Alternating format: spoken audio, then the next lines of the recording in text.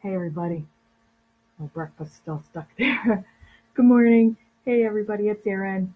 And I am just one pushed because I haven't gone live in the group for a while. Been super uh, focused on my interview series and the quality and the amount of people that are coming forward to be on my Perspective Shifters live interview series um, has been extremely overwhelming um, to me. It, it's it's humbling, it's overwhelming, it's amazing, it's everything that I've wanted. And what it comes down to is um, there are just some things that I'm not willing to sacrifice when it comes to that and I wanted to pop in here and talk to you guys about non-negotiable things. So um, those interviews are usually on Thursdays at one o'clock. It's a standard thing. I set it up to fit my schedule. Um, I'm not going to switch that. It's Thursdays at one o'clock. However, if something crosses my path that I think is just out of this world extraordinary and needs to be brought forward, I'm going to do a special edition. Doing one today at 2 o'clock. I'm just here to tell you, you guys need to make time to listen to what's at 2 o'clock today. If it's worth me changing and altering my schedule to fit in promoting, putting it in front of people, putting it on my promo schedule, emailing my client list, for an out of normal topic, it's worth your time. It's worth my time to do that. Um, so back to the non-negotiables, right? So what's what does that mean? To me, non-negotiable means something I'm not willing to change or give up. Are there exceptions? Sure. However, things like my morning routine, that's non-negotiable. Things like good manners from my son, non-negotiable. Um, things like um, showing up. How do you show up? How do I show up for you guys? It's non-negotiable. I'm here, I'm present, I'm presenting, I'm bringing forward, I'm if you're my client, I'm on top of my game all the time. Um, I show up the same, consistent all the time. Um, I get dressed. I come upstairs to my office, right? I get in the shower. I put on office clothes like I'm going to my office because I am, and I respect the space. Another thing that um, was kind of on my mind this morning was pushing through. Now, what does that mean? Um, some clients in the last couple weeks um, really are coming up against um, some pretty big things that are scary for them, right? Because things are changing in the world and around them, around us. Um, everybody is, right? We all shift and move and grow and expand ourselves all the time. And if you don't, then you're stagnant. So you get to make the choice. Do you stay stagnant average, this is good enough? Or do you push the walls of your box, you pop the top off, right? And you're like, there's better out there. There's better out there. But that, you know, when you come up out of your box, right, and you peek over the edge and you're like, that's scary, right? It's like, um, it's like that first time you do anything. It's scary. You don't know. You don't know what to expect. You don't know what's going to be on the other side. You don't know if it's going to be received okay.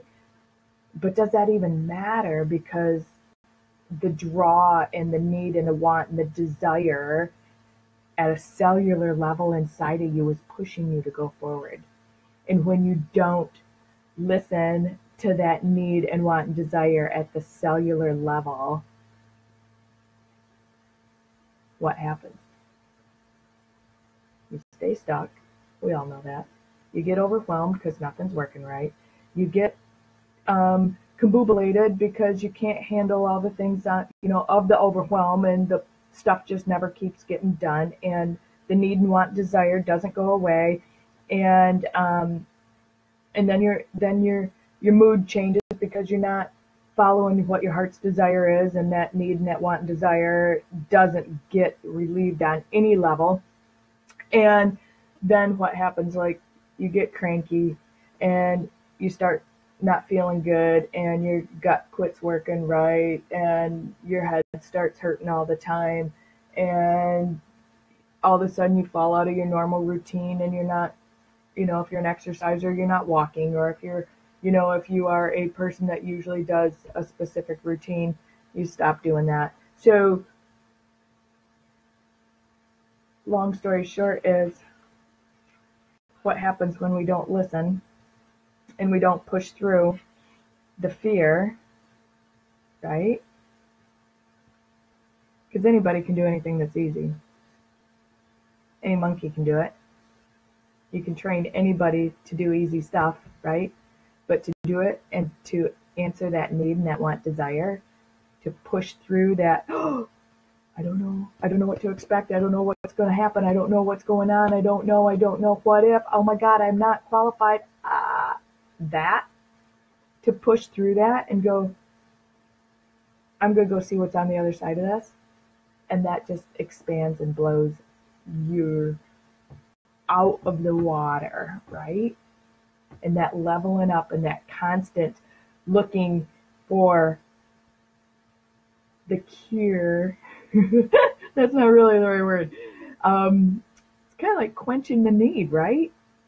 For the drive to go better yourself, to go do whatever it is that's, if it's writing a book, if it's um, running a 5K for the first time ever, whether it's, um, you know, moving cross country, whether it's, um, you know, I don't know, whatever, whatever that design, whatever being an artist for God's sake, or a musician, or you know, to create some really cool foundation that's just been just inside your heart for so long to do. What if you don't do it? What happens if you don't do it? Is that greater than trying to do it? Just think about that. So, I don't know, all these kind of things were just rolling in and making me think this morning. And my next thing to talk about is asking the questions, right? So, there's been a lot of talk out and around in my community. Drinking my green juice because it's good for me. About what people charge for their services whether they're an attorney, whether they're a consultant of some sort, whether an um, you know a VA or an accountant or whatever you do. There's been a lot of chat discussed on what people charge. Why does it matter what people charge? What matters is it does that person that you're hiring line up with you? Are you asking the right questions? Are they going to provide what you need? Have they ever done that before? Um, what is their proven success rate? How many clients have they had? You know, what do they have a coach? That's my number one question. Hey, do you have a coach? Because if that answer is no, move on. Plain and simple. Plain and simple if your person that you're hiring does not have somebody that they pay to mentor them in some fashion, move on. What do I mean by that? That person that you're potentially going to be investing a lot of money in, I don't care what the number is, I don't care if it's 50 bucks. You're still investing money in that person, right? So whatever makes you comfortable on that level of investment, ask the questions. What are you going to get for your money? Do they have a coach? if they don't have a coach, then they're not continually up in their themselves to provide you and, and the other clients of theirs service at a higher level, at a better level, in a better way, in a, you know, to incorporate new things into what they offer, right? So when you're talking to potential people to hire and to spend money on to help you with something, make sure it lines up with you energetically, make sure it lines up with you emotionally, make sure it lines up with you financially, and that you guys are going to be good working partners because not everybody's going to be able to be that person for you, right? So, just a couple thoughts there. Um, and that just kind of goes hand in hand with my next thing on investing in yourself. Um, that's huge. Those of you that are my clients know that that's a huge thing for me. If you guys have um, at all been following me, I am very, very, very much a part of investing in myself, upping myself, um, expanding my knowledge, um, incorporating different thought processes into my field and my arena to to expand myself. Right? You don't know what you don't know until you need to know it. So, how do you know? Unless you invest in yourself and you expand the box and you push through and you ask the questions, right? They all kind of stack on each other. So, Am I investing in myself? Absolutely. Have I had prior coaches? Absolutely. I'm in between coaches right now.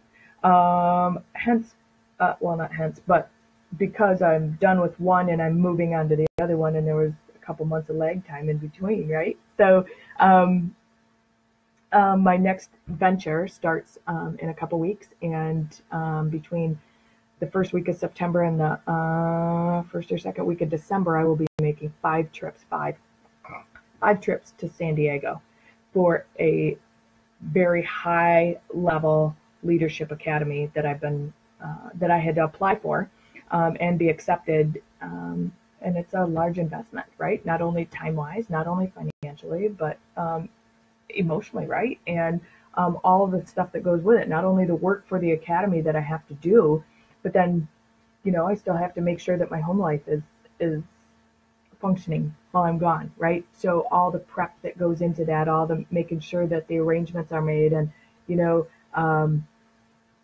things are taken care of that are usually my responsibility while I'm home.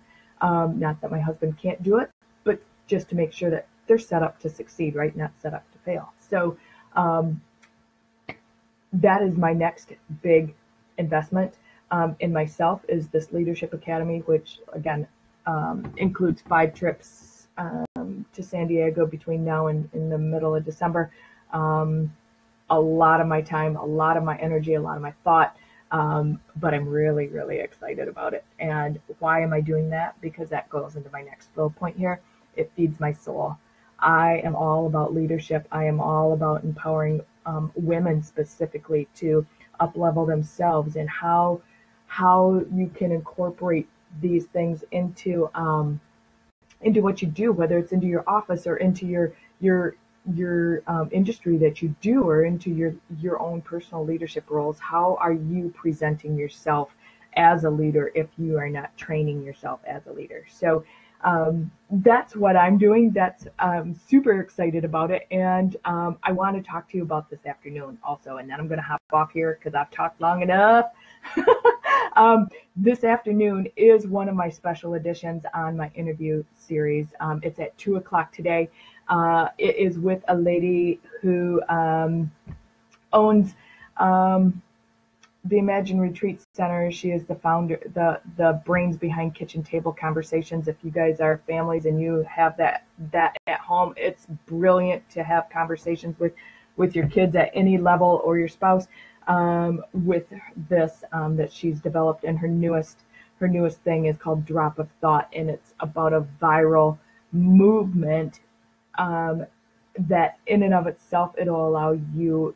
Um, you have to apply for this program as well, and it's free, but you do have to apply for it. Uh, and it can potentially reach millions of people. It's like the one drop of water can cause a tidal wave.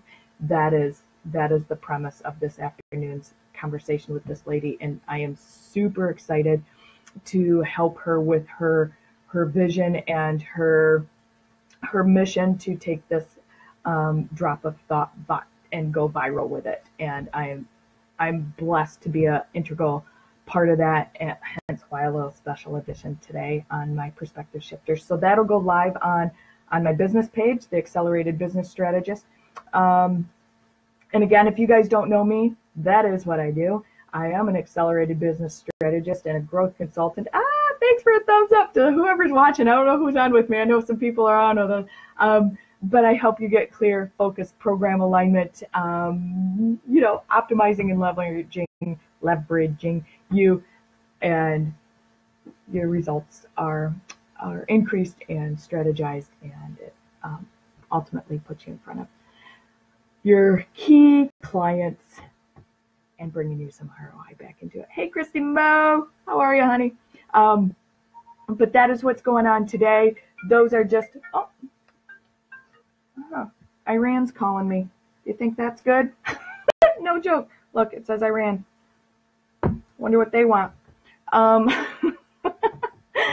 but those are kind of just my uh, thoughts coming out of the eclipse. I don't know. It was just kind of overpowering me this morning um, that there are absolutely non negotiable things on my docket that um, allow me to push through my fear, that allow me to ask the right questions to the right people in the right time, to invest in myself, to feed my soul, and to, yeah, they all just kind of cascade, right? They all just kind of dock off of each other there. And so I just want to encourage you guys to do that. If you need me, you guys know how to reach out and tap me.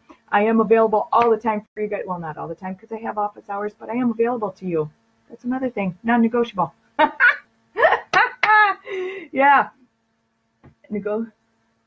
Yeah, okay. I will do that for you, Christy. I will do that. Get me an appointment with um with uh, the president, and uh, he and I will have a conversation.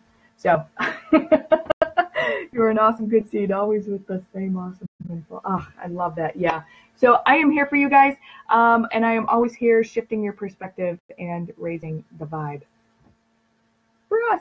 Have a great day, everybody. Hey, hop on and see me later this afternoon at 2 o'clock on my business page. Have a great day, everybody.